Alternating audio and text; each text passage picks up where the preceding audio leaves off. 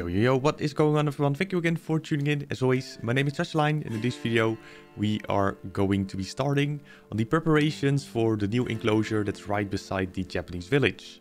In the previous episode we finished the decoration aspect of the village, which is in the beginning stages of like the, uh, the entrance of the village itself. And we decorate all the open spots that were still left. And that means that the village itself is completed. But in this one, we're going to be prepping for the enclosure for the proboscis monkey and the Malayan tapir. In the previous episode, we kind of discussed this a little bit, uh, why we have these animals going in the village itself and why it's also considered to be partially in the village. And that's more because of the section that you're seeing right now. Uh, we're trying to extend the wall that we created a little while ago. And it's actually attached to the Great Wall of China. Like that section was part of the Chinese palace build. It's also on YouTube. I'll leave a link in the description and also in the top right corner, which will redirect you to the first episode of that little palace build. It is on the left-ish side of the overall Southeast Asia section. And uh, yeah, in this video we are like connecting the two. So the wall itself is overall accessible for the guests. Like 90 or so percent is accessible for them, so they can actually use it to maneuver about in the zoo and reach this side of the village as well. And there will also be like a ground path, a normal one, which will obviously go to the entrance, or at least the first entrance of the village. So guests are also able to use that as well to yeah get to uh, check out the animals that are inside here. But the uh, the wall will be decorated as well. Like it will be not really nice looking in my opinion if we would not really tackle this. Although looking at it now, it's uh, fairly similar in terms of how the uh, yeah, terrain looks.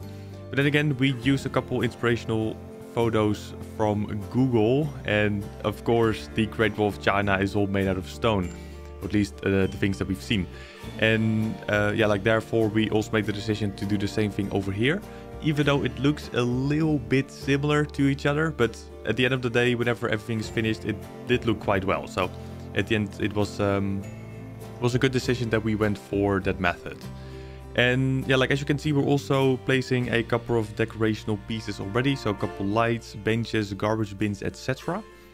And in this episode as well, we'll be uh, yeah like starting on the outside section, or at least the first one, for the uh, enclosure. Like the enclosure itself will be surrounded by uh, the wall as well. So it's like a, an extension rather. And that's the reason why we keep on saying that it's like partially part of the village, but also not really. Because like the wall itself is part of it, but the enclosure itself isn't really. So it's like a, an interesting mix, so to speak. Later in the video, however, also a thing to uh, mention, also like a apology. It's a little bit rough in terms of transitions in scenes. So I do apologize in advance because all the videos you see in YouTube videos have been created first live over on Twitch. And like we changed those live streams into yeah, these type of videos for YouTube. And on the live streams itself, it was a little tricky here and there. So I tried to make it like as smooth as possible, but there are moments here and there you will still see a couple like rough transitions. I tried my best, but unfortunately I wasn't really able to get all of those uh, yeah, like wonky bits out of the uh, the actual video. So once again, I do apologize. Uh, but you still get to see like most of the uh, the work, the ideas, and um, yeah, what the overall look will be at the end of the day whenever it's all finished. But um, yeah, for now I will leave you with the remaining of the speed build. Hopefully you'll enjoy. Uh, also, like another question for everyone that is actually checking out the video. If you have like any questions in terms of would you like to see a tutorial video in the near future, then feel free to get some ideas going in the description down below. Because I have been wanting to create another tutorial video, but I'm not entirely sure what type of video that should be. At least what type of tutorial it should be. So if you have like any issues, then please below get an, uh, an idea or an issue that you're having with Planet Zoo regarding like a specific method or a, a, specific building, like doesn't really matter. If you have any struggles, feel free to post it down below and I will try to see if I'm able to get like a sort of tutorial video out of it. And um, yeah, I think that is pretty much it. Also leave a link in the description down below, by the way, once again, for the Twitch streams, or at least the link for the Twitch channel. Which will redirect you to those live streams. All the builds, once again, you see in YouTube videos have been created live over on Twitch first.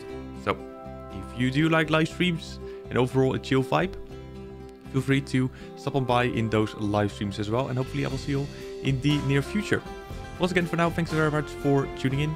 Enjoy the remaining of the video and I will see you later. Have a good one. Bye-bye.